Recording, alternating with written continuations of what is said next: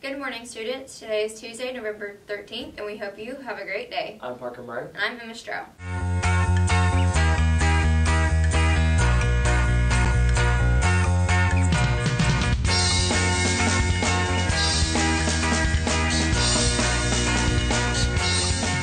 For lunch today, we are having Frito pie, chili beans, diced pears, tossed salad, and milk.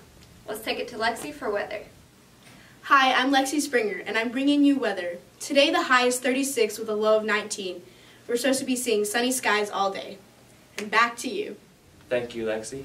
Now let's take it to Gigi and Cameron for entertainment news. Hi, I'm Gigi Crenshaw, I'm Cameron Bourne. and this is entertainment news.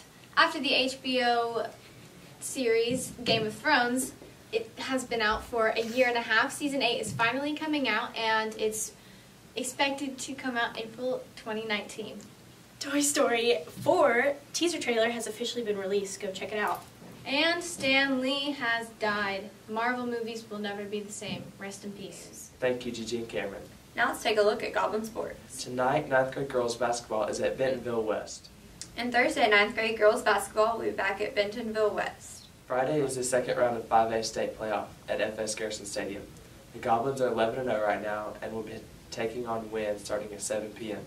Tickets are $6, and for those who have a AAA pass, are the only exceptions for this event. Good luck to all our Goblin athletes this week. Now let's take a look at some upcoming events and important information.